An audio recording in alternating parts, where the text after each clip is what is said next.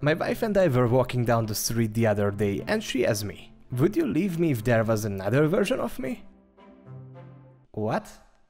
Is it just a simple innocent question? Or did she read something about multiverses? Should I ask?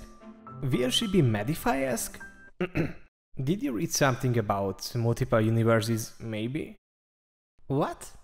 I guess you also didn't know that most probably there is another version of you, and actually most probably there is another version of me and everyone else. Well, little did my wife know that the idea of multiverse or multiple universes has been in the public domain for some time. And by that I mean for a really long time.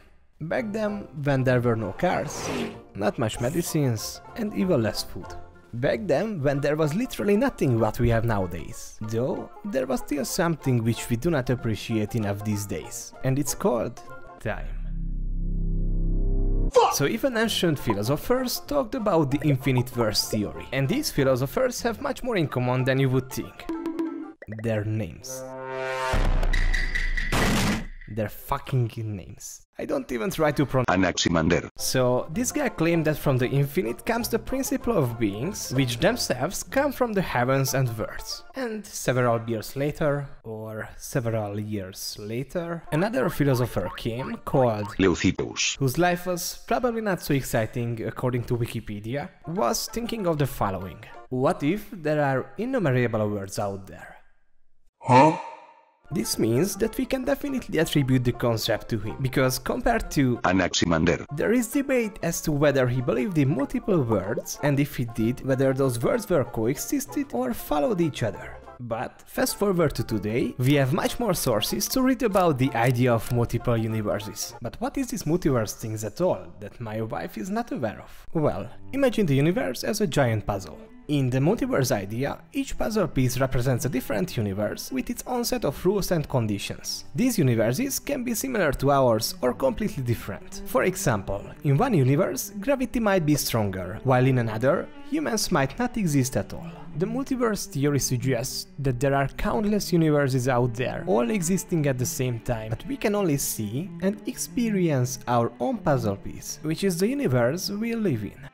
So, if there truly were another version of my wife out there, would she be the same person I fell in love with?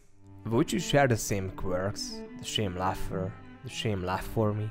Would she ask the same question that I would laugh her if there was another version of her? As I was thinking about these questions, I realized that even in a multiverse full of countless versions of us, there is something unique and irreplaceable about the person we choose to share our lives with. But to be honest, the answer is a bit complex whether another version of us exists. There isn't any direct proof that the multiverse actually exists. Some theories in physics and cosmology hint at the possibility of a multiverse, but we haven't found concrete evidence yet. But then there is one thing I still don't understand.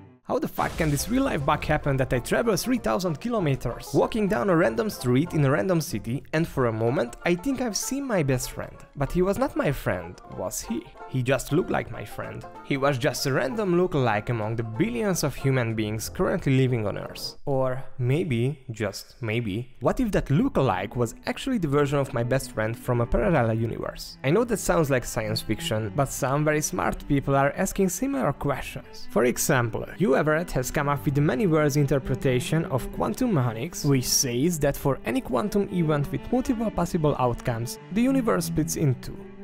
Well, it means that in one universe I stopped and said hello to my friend's doppelganger and in the other I simply kill him. Imagine that for every decision, every choice you make, the universe branches. In one universe you decide to have a coffee, in another you ask for a tea, and in another you are a piece of shit and you don't like animals. The possibilities are endless and probably makes you think about all the moments in your life when things could have been different. But if there are multiple versions of us, each of us making different choices and living different lives, but does it mean that there is a version of me that never met my wife? Or maybe a version where I did but things didn't work out? And if so, does that make our love any less real in this universe? Honestly, I don't think so.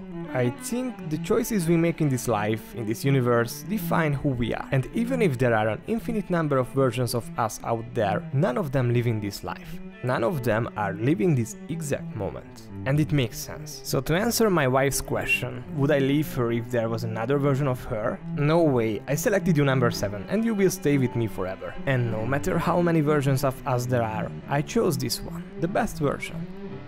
Probably the best version. Hey yo, what the fuck? But such questions don't just magically appear in my wife's mind, but in some physicists' mind too. In fact, they are much wider and think it might be possible to travel between these universes. But not now, of course. Sometimes it's even hard to get to McDonald's by bus. So we are still a long way from inventing the technology to do that. And here is the but, because there are theories that wormholes, you know, those strange tunnels through space-time, could be gateways to other universes. So who knows? Maybe one day jumping from one universe to another will be as easy as a player right. So if it were possible, would you visit a world where you made different choices? Hey bro, these lottery numbers are not gonna work, but if I were you, I would... Or would you visit a world where your life would be completely different? Or would you stay here, content with your choices you have made and the life you are living? It's a fascinating thought experiment, but also a reminder that while it's good to think about the multiverse, it's the universe we live in that really matters.